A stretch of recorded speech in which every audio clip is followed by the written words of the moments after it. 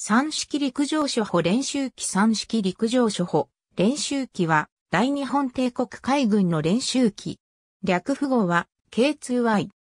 1928年に当時の主力処方練習機だった。アブロ式練習機に代わる。処方練習機として横須賀海軍交渉で設計が開始され、1929年4月に試作機が完成、翌1930年1月に正式採用された。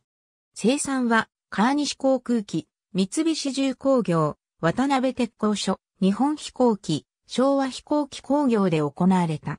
生産が終了したのは1940年で、総生産機数は360機。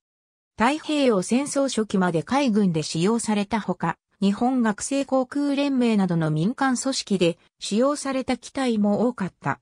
機体は服用単発の複座機で、材質は木製派不張り。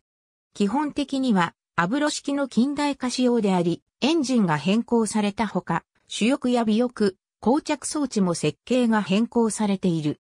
安定性、操縦性ともに高く、ある程度の極技飛行も可能だった。